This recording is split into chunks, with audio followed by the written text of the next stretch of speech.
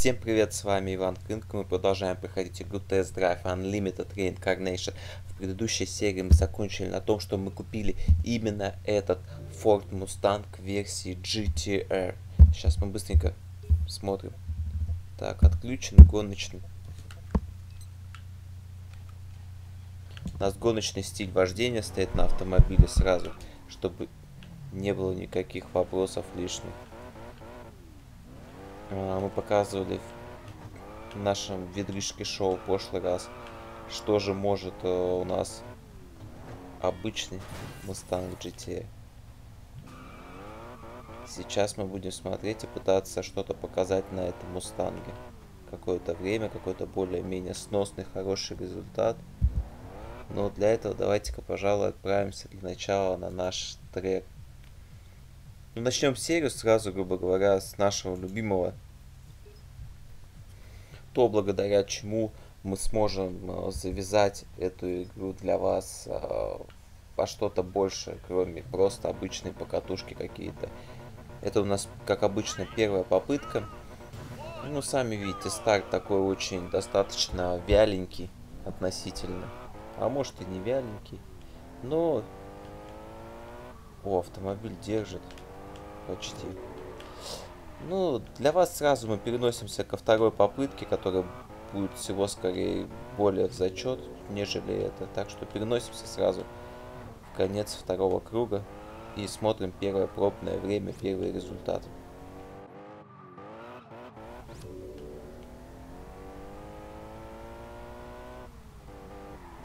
Ну да, первая попытка у нас закончилась, как мы видите, как вы видите, у нас есть время 2 а, минуты 30 секунд и 41 сотая. А, значит, сразу в оправдание. А, я наконец-то научусь перестать цокать и говорить э. Смотрите, один раз нас чуть не развернуло поперек, второй раз а, меня занесло сильно. Ну, хотя меня, наверное, раза три сильно занесло. Но сейчас будет попытка в зачет. То есть и вы сможете тоже посмотреть, я вам смогу объяснить более-менее, что же не так с этим автомобилем. Ну, то есть, ну, пробуксовка это, ладно, это вообще не... о чем. То есть, скорость 150, 160, 150, 160 это у нас как на Porsche у нас было. Вот, вот это ж не шпилька даже, наверное. А не, наверное, это все-таки шпилька. Своеобразная. То есть, короче, здесь нас сносило. Здесь мы полностью газ открываем, поворачиваем, нас начинает опять же заносить. То есть надо отлавливать момент, чтобы нас не развернуло. На MX-5 я мог здесь в газ, в газ пол пройти почти что. Сбросить только газ, и потом вынырнуть из этого поворота. То есть в этой секции этот автомобиль проигрывает маленьким, легеньким а, микрокаром. Вот, открылся. Ну, можно сказать, что я рано открылся. А для, так сказать, более стабильного результата на всех автомобилях, как помните, стоит автомат коробка. Да, она где-то может э, чуть тупит, чуть где-то не дает докрутить. Э, движок на те самые 200-300 оборотов, но это хотя бы везде более-менее стабильно. Потому что можно будет сказать, ой, где-то ты здесь затупил на одну десятую, не переключился вовремя и так далее. А тут получается честный, а, полностью адекватный результат. То есть, смотрите, газ открываем, открываем, держим, держим, пробуксовка. То есть, ну, грубо говоря, у самого автомобиля зацепа не хватает. Хотя это трековая версия. Вот сейчас неплохо прошел, но выход испортил. Вошел хорошо, выход плохой.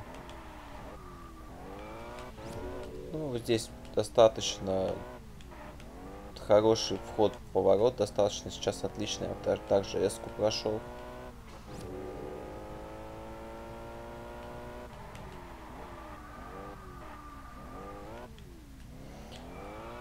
Это вообще ужасно поворот я прошел. Ни по апексу, ни по траектории. Поздно открылся вообще полностью. Газ имеется в виду. Ну, ужас, честно. О, и здесь проворонил. Ну, результат где-то на... Сколько? На 3 секунды, да? Ну, почти на 2 секунды все-таки лучший результат. То есть, значит, время у нас идет зачет uh, Ford Mustang GTR Concept, трековая версия, которая 2 минуты 28 секунд и 6 сотых. Uh, в конце серии будет а, таблица с результатами, где я покажу, на что же все-таки, кто будет конкурентом на треке у данного автомобиля. Так. И у нас из фортов... Давайте-ка сейчас тогда уж... А где мы покупали форт? Вот, форт мы покупали в форте. Да, в Форделе.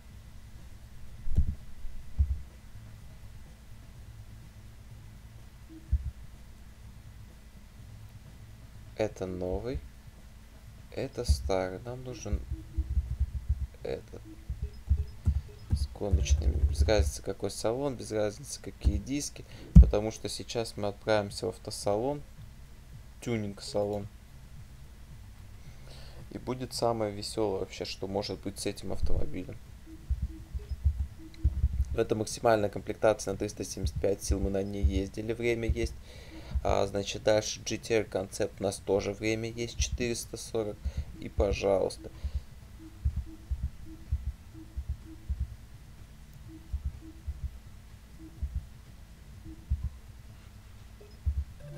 Значит, мы сделали Салим, Салин, Салин Экстрим пакет какой-то. Сейчас скажу, как точно полностью это звучит. Это у нас Сален S281 Extreme, Extreme Coupe. Значит, здесь уже 550 сил. Ну, видите, долбится он в отсечку.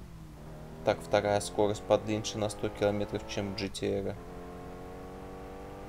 А третья покороче. Все, шестиступенчатая коробка передач стеклянная панорамная крыша, выхлоп по центру, два овальных таких отверстия, ну и передний бампер, передняя оптика поменена и так далее. Давайте посмотрим, какой у нас класс. Класс у нас вообще цел данного автомобиля. Это очень много, я бы сказал бы вам сразу. В результате давайте пополним, так сказать, пройдем частично сюжетку нашу.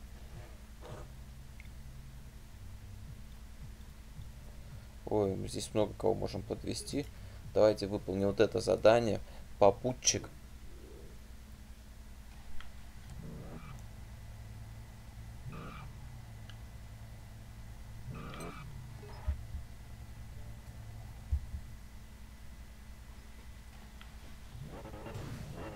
Ну, что у нас будет?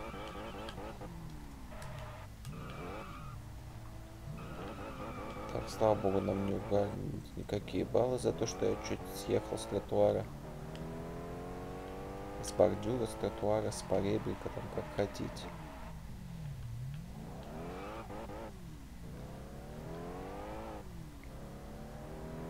Надо 3 километра за 2 минуты, 4 километра, то есть у нас где-то средняя скорость должна быть по 120 километров в час. Смотрите, довольно шустро. С учетом того, что он на 300 килограмм тяжелее, чем предыдущий автомобиль. То есть это чувствуется, потому что в поворот он входит. Да не намного он тяжелее. Не намного он более тяжелым чувствуется.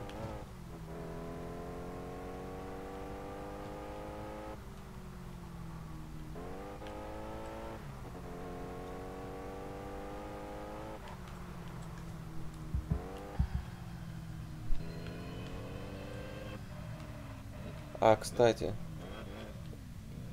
а, при виде из салона у нас слышится звук компрессора. То есть вот то, что слышите, вот как пылесос завывает, гудит ли. Турбины свистят, они пш пш пш пш и они... А это вот именно... Это вот именно компрессор. Огромное спасибо. Ну, американцы на V8 любят компрессоры ставить. Поэтому вполне нормально.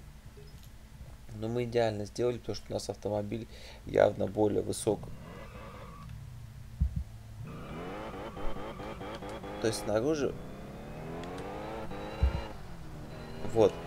Так лучше всего слышно. Хотите ревом самолета, истребителя обзывайте, хотите завыванием пылесоса. Это вот вам как, как угодно, так сказать. Можете обзывать этот звук. Ну, звучит это примерно так.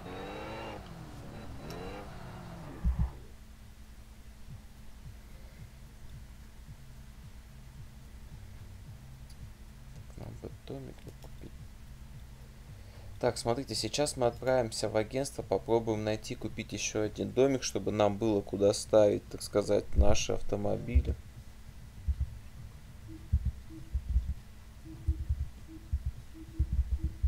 А, то есть у нас один вариант, да, есть. Все, больше нет. То есть остальное все дешевое жилье мы скупили. Какая-то дорожка по серпантину. Давайте прокатимся. Сейчас я поменяю вид. Наверное, Чтобы вы смогли сказать.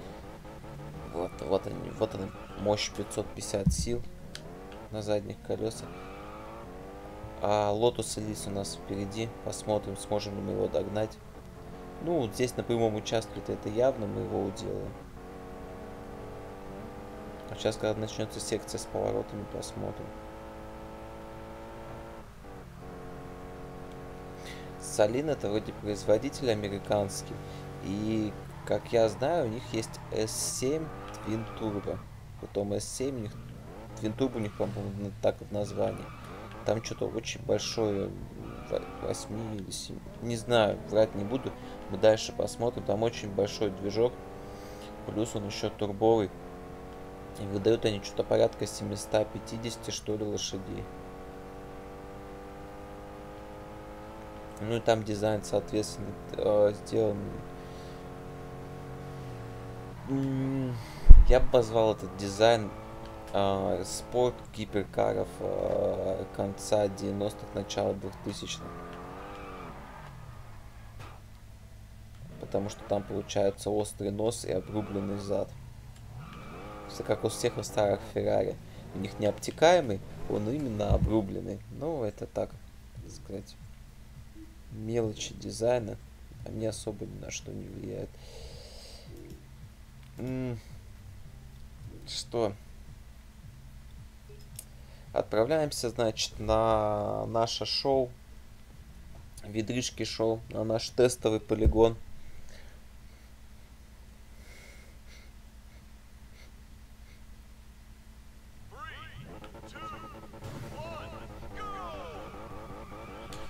Продолжаем, значит, так, это как обычно у нас первый тестовый проезд. А, вы, как обычно, переносите самый конец. Вот у Салина уже плохо поворачиваемость. Короче, он менее устойчивый, чем э, GTR купе, который Мустанг.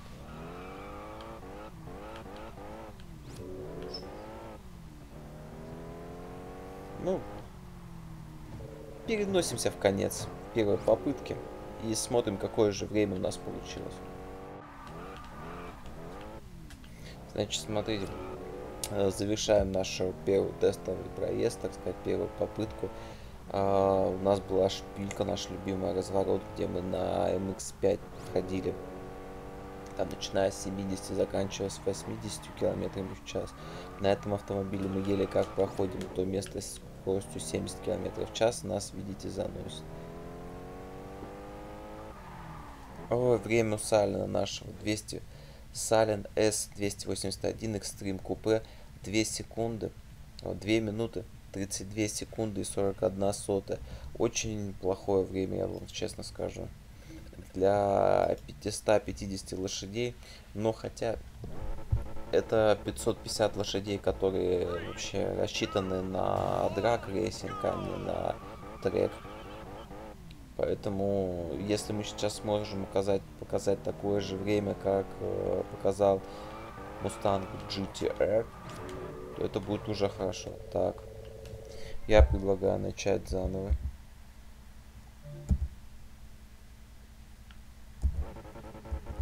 Ну, фары-то фары мигают, вы сами их видите. Они ни на что не влияют.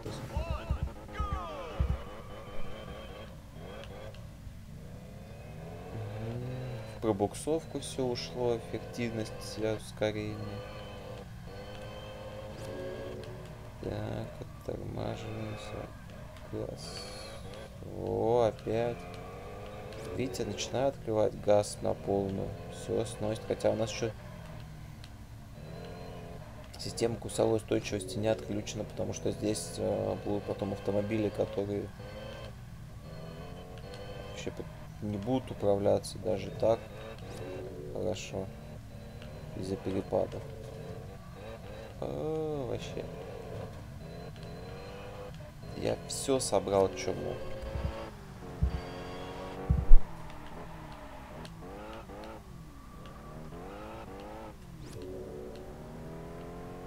Ну, хотя бы этот поворот более-менее адекватно прошел. Что-то мне совсем этот саль не нравится. Я думаю, что я его буду... Если понадобится место в гараже, я его буду продавать. Хотя от этого повороте мы лучше вошли, чем GTR в конце. Ну вот опять же, здесь видно, его сносит. То есть вот газ. Мы немного поворачиваем, получается. У него все про буксовку длинную.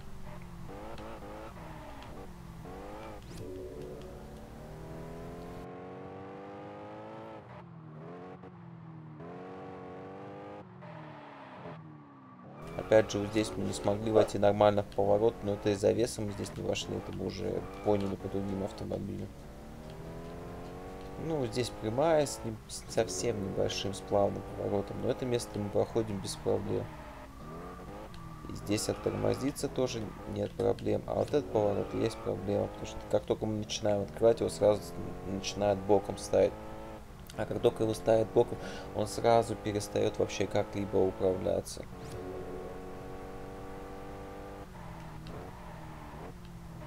Ну, хотя это с одной стороны типа плохо, а с другой стороны, ну это тяжелый Ford Mustang. Ну вот, время 2 минуты 27 секунд и 65 сотых. То есть это получается время на секунду, ну, меньше даже, чем, по-моему, секунда, чем Ford Mustang GT Concept Купера. Так что Что ты облегчил Мустанг на 300 килограмм, что ты добавил 100 лошадей. Разницы никакой. Это Мустанг. А Мустанг есть Мустанг. Знаете, вообще есть желание добавить вообще полного трэша. Вообще, прям, чтобы вообще по жести, так сказать, по полной. Чтобы, так сказать, добить вообще окончательно. У нас есть ГАЗ-3110. Лада 2108, Лада 2115, Приора. У нас есть Запорожец. Но почему-то Запорожец с мощностью 185 лошадиных сил.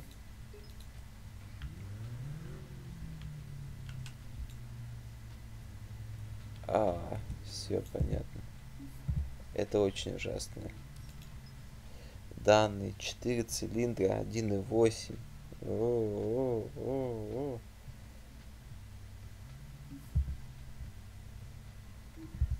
Ладно.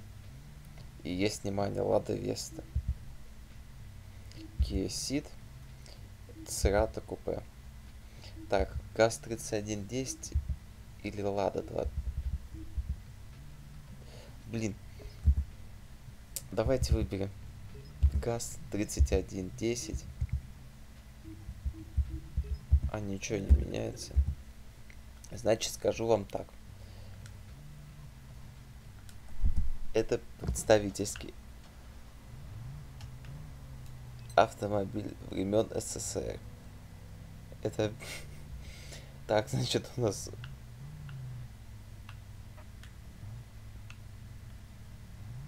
у нас бак, от, так сказать, от этого от, человек, который создал мод.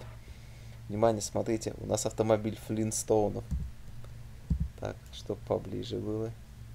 Ноги белые кроссовки нашего чувака торчат. Ну ладно, шутки шутками. Значит, это Волга. Притом это... Давайте посмотрим. А приборная панель, я вот честно не знаю. Может вы мне подскажете?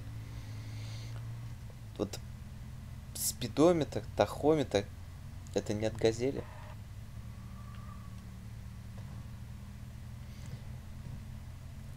Я не знаю вообще, какая у нас мощность. Но, по-моему, мы устанавливаем мировой рекорд по максимальной скорости. Так, у нас есть четвертая скорость. У нас есть пятая скорость. У нас пятиступка. Э, это уже хорошо. Так. И автомобиль в F-классе. Прикиньте. Сейчас, короче, трэш трэшем. Ну, давайте сразу глянем. Просто мне стало реально интересно. И вообще, это не шутки. Короче, у нас 131 лошадь, а мы сможем сделать 143 лошади. Ну, на четверть больше мощности.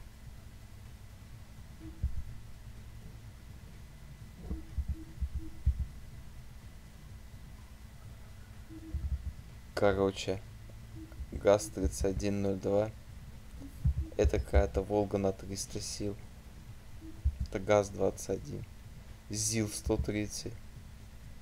ЗМЗ С3Д. Это, я не знаю, это какая-то типа... Если я правильно понимаю, это какая-то типа инвалидка, что ли? ГАЗ-13, Чайка.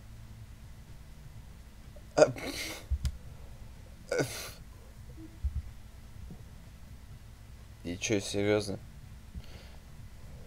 Вот это трэш.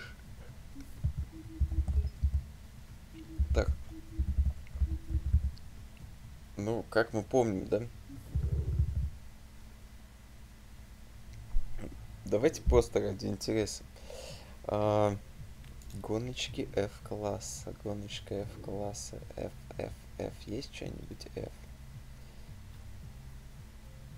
Ой, там что-то вообще здесь много учений хоть сколько. Е-класс. У нас есть вот здесь вот гоночки. BC, Е, ЕФ, Во, ЕФ.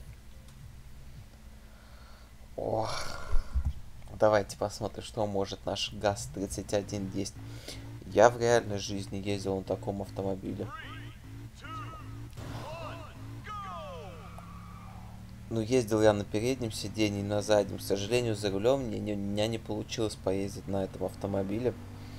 Но из того, что я испытал на заднем сиденье, так сказать, и на пассажирском, скажу сразу.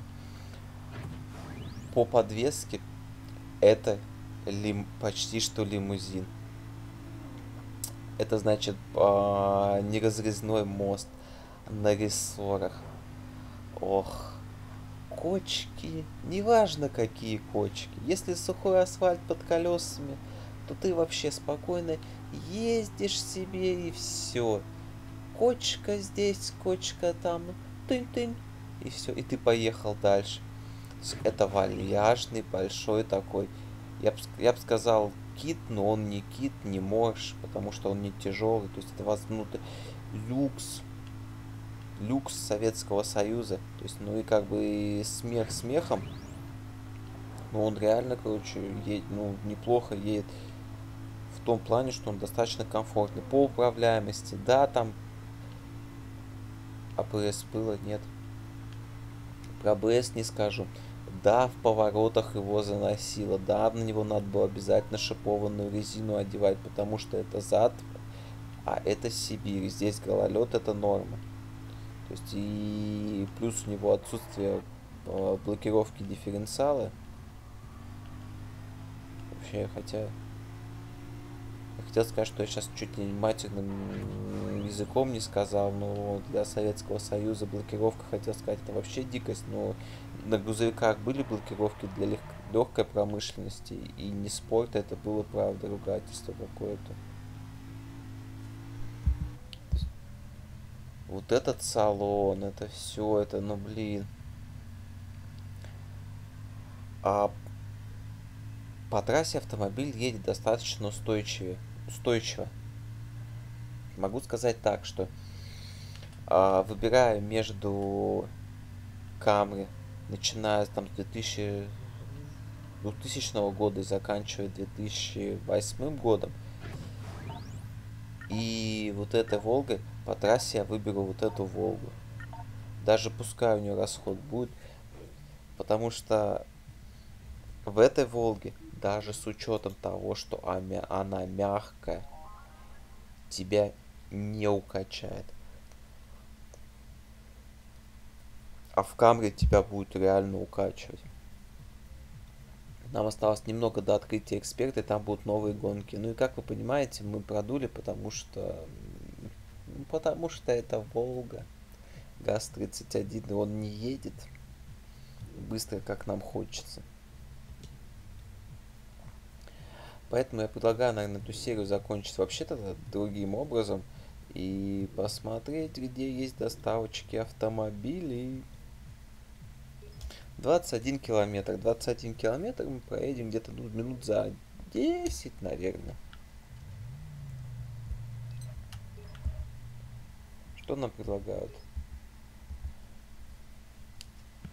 О, о, Ламборгини. Или Ламборгини, или Ламборджини там.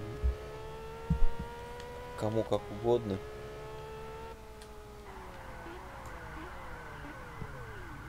Это СВ.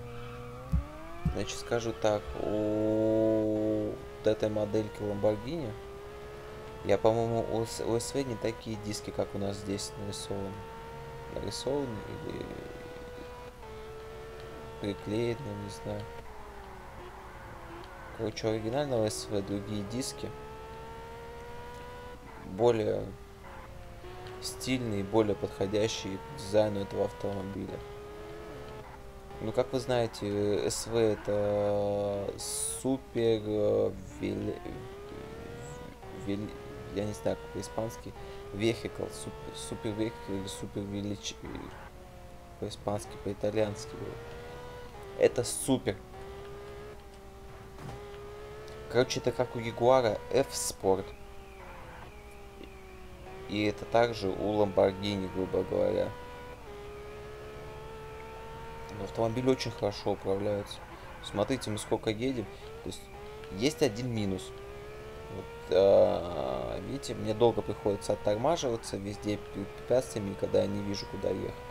Это потому что, ну, мы тормозим с 200 км в час, поэтому понятно. Но при том вот за счет полного привода он управляется.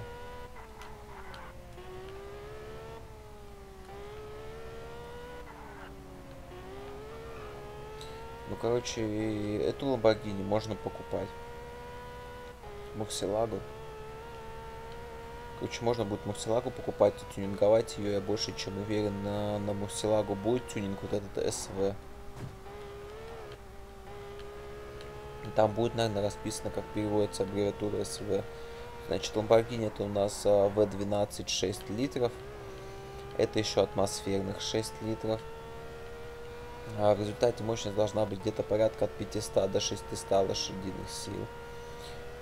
Помимо этого, вот у нас полный привод. Это специфический дизайн такого низенького автомобиля. И максималка где-то в районе 310-330. Вот именно у Мурсилаги. Мурсилага или Мурсилаги. Склоняется? Нет вообще Мурсилага. Ну, из недостатков вот этой модельки, это я уже, как вам сказал, диски. Сейчас дальше уже будем подъезжать, я вам покажу. Потому что не хочется сейчас улететь куда-нибудь и, и проезжать заново 8 километров. Ну вот, мы 300 едем. То есть запас еще есть. Это в этом...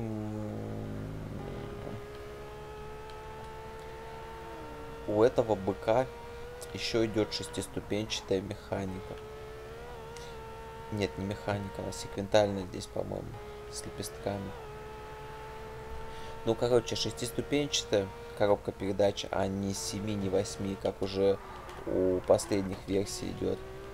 Если кто-то не знает, 6, э, почему 6 ступеней поменяли на 7, 8, так сказать. Сейчас уже даже 10 ступенчатый автомат.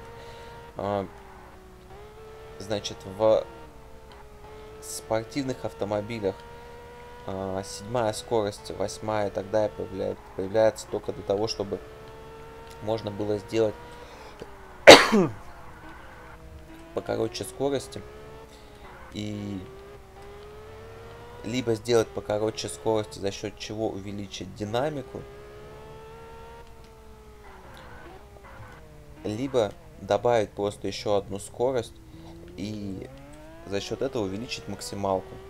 То есть в некоторых случаях ну, комбинируют, так сказать, и уменьшают, э, и увеличивают динамику, ускорение и максималку за счет того, что цепляют еще одну, а то две передачи. То, что это муксилаги получается 320-330, тут в зависимости от, там, от модификации и так далее. У следующего Авентадора, у него уже 7-ступенчатая коробка, у него 350 или 360. То есть, ну, грубо говоря, э, за счет того, что шестая скорость не последняя, то есть ее не надо выжимать на максималку, они ее там чуть покороче сделали, добавили седьмую скорость, которую сделали чуть подлиннее. В результате мы более-менее получая, ну, примерно ту же скорость, мы смогли получить, получить э, более лучшую динамику. Во-первых, во-вторых, э, возросшую максимальную скорость. А, если мы возьмем это в спорте, если мы возьмем в гражданских автомобилях, то в гражданском автомобиле есть, а, если как, как объяснить это простым языком, топливо-воздушная смесь нет. А, режим двигатель, работа двигателя, ну, можно так сказать, хотя нет, режим есть работа, вы скажете, спорт, эконом и так далее. А, вкратце, а, двигателем управляет электронный блок управления двигателем, ЭБУ, мозги и так далее. То, что чипуется и предлагает, то, на что предлагается чип-тюнинг сейчас и так далее. А в этом ЭБУ зашиты программы. То есть, ну, грубо говоря, если совсем это, там есть экселевский документ, который при определенном значении, при определенных оборотах, там сложная диа, не диаграмма, даже сложная трехмерная схема, который рассчитывает, что при да, нажатой педали на столько-то процентов, при таких-то оборотах может быть бедная смесь, может быть богатая смесь. А, вот. И, грубо говоря, когда у тебя 6 скоростей, то есть этот диапазон э, поймать очень сложно. Сложно поймать имеется в виду самому автомобилю и коробке самой. В результате чего у тебя получается, что увеличенный, увеличенный расход. Когда мы пихаем 8 ступеней, грубо говоря, да, то есть это на 2 больше. Следовательно, ты в те же самые обороты двигателя, ты можешь сдвинуть, э, ты можешь перемещать эти скорости, делать какую-то скорость короче, какую-то длиннее. И в результате ты будешь всегда находиться в этом оптимальном диапазоне, где, грубо говоря, достигается максимальная экономичность. А максимальная экономичность это даже не столько максимальная экономичность, сколько минимальный расход в результате чего расход уменьшается, и с учетом этого средний расход уменьшается, в результате чего ты получаешь экономию топлива во всем. Ну, за исключением того момента, если ты будешь просто на месте стоять. Вот эти ужасные диски вы видели сейчас, и нас обратно посадили в нашу Волгу ГАЗ-3110. Давайте проверим кое-что. Попробуем вообще помощь вождения отключить. 131 лошадь сможет крутить пятаки или нет? О, прикиньте.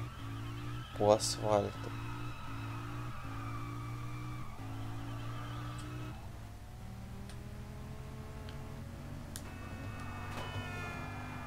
Да простите.